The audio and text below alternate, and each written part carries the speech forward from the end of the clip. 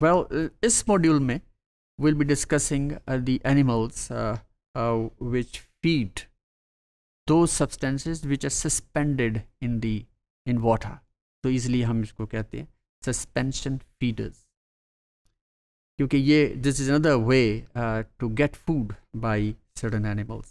so suspension feeders they are the animals that feed on material such as planktonic organisms यानी कि वो organisms जो कि आमतौर पे मेरीन uh, वाटर के अंदर सस्पेंडेड रहते हैं they cannot move by themselves they remain suspended in water such said to be the planktonic now the suspended in water and that usually has various structural modifications for uh, straining out its uh, food यानी कि ये इसमें एक किस्म के straining करते रहते हैं जैसे हम चाय की छलनी होती है उसमें स्ट्रेन करते हैं पत्ती ऊपर आ जाती है वाटर ड्रेन आउट नीचे चला जाता है और नीचे चला जाता है तो कप में चला जाता है। तो इसी तरह इसके अंदर भी कुछ ऐसे स्ट्रक्चर्स हैं एनिमल्स के अंदर कि वो स्ट्रेन करते हैं इन प्लैंक्टोनिक ऑर्गेनिजम्स को। ये planktonic organisms they move into their body और ये उसका फ़ूड का हिस्सा बनते The suspension feeding is the capture and uh, and the ingestion of food यानी how the animals they capture and ingest them ingest का मतलब होता है फ़ूड लेना to take in of food particles that are suspended in water now these particles can include phytoplanktons zooplanktons bacteria तो ये सारे के सारे दीज माइक्रोस्कोपिक ऑर्गेनिजम्स और uh, ये उन्हें स्ट्रेन करते रहते हैं और uh, फिर वो उनका फ़ूड बनता है या उसका फ़ूड का हिस्सा बनता है The suspension feeding is the removal of suspended food particles from the surrounding water by some sort of capture. तो ये they somehow are the other capture तो करते हैं ना फ़ूड को, यानी कि वो वाटर जो है that moves into the body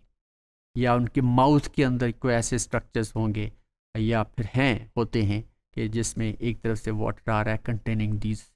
suspended particles, और फिर water it is moving out लेकिन फ़ूड फ़ूड उसके डाइजेस्टिव सिस्टम में एंटर होता है। Now this feeding strategy involves then three steps जिसमें पहला स्टेप है कि transport of water pass the feeding structures यानी पानी का उसमें, उसके बॉडी में से या माउथ के हिस्से से फ्लो करना। There must be continuous flow और ये animals it moves then this continuous flow then removal of nutrients from water और फिर transport of the nutrients to the mouth of the digestive system और ये फिर बॉडी के या उसके डाइजेस्टिव सिस्टम में एंटर होना। और इस सिलसिले में ये चंद एनिमल्स दिखा रहा हूँ मैं आपको कि जो कि जो कि सस्पेंशन फीडर्स कहलाते हैं।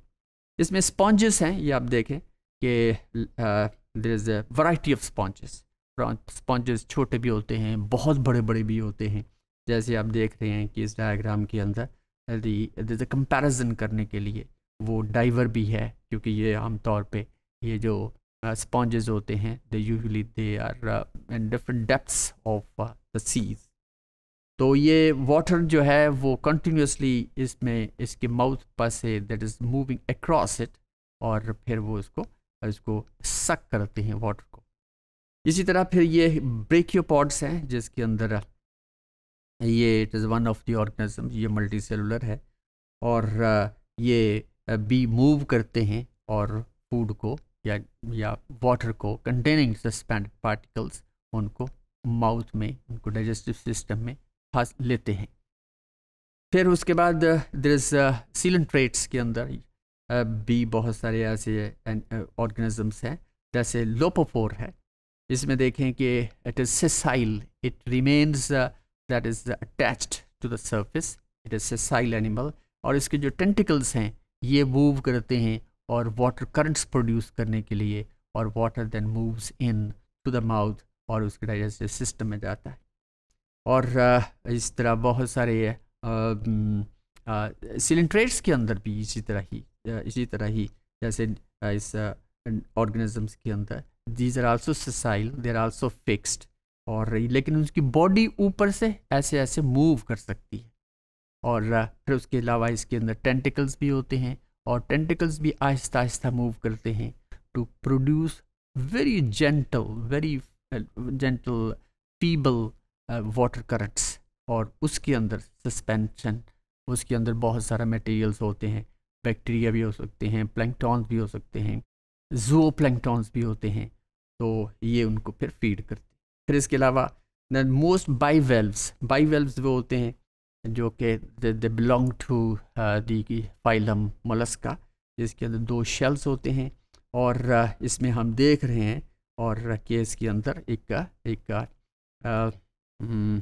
टीथ uh, से हैं और they act as the sieve और food water is moving in water is moving in और food particles then they are then they are engulfed by this animal फिर अगली डायग्राम में this a very big huge animal which is uh, a whale hai it's a, whale. Uh, it's not a fish it's a whale. It's a mammal. और इसके अंदर हम देख रहे हैं कि एक बाकायदा बेलिन है जिसके माउथ के अंदर ये this baleen this is baleen ये this part this is baleen और यही है वो सीव के तौर पे काम करता है। और इतना बड़ा एनिमल ये भी डिपेंड करता है, आप देखो कि माइक्रोस्कोपिक ऑर्गेनिजम्स के ऊपर। और पानी कंटिन्यूसली वो बाकायदा सक करती है ये वेल और बहुत सारा पानी इसकी माउथ में से होता हुआ और फिर वो पानी बाहर निकल जाता है और वॉट पार्टिकल्स जो हैं they remains that is entangled or uh, then this becomes the food of this uh, huge animal. So this these are the animals. This is uh, these are different examples to explain this uh, suspension feeders so this is all about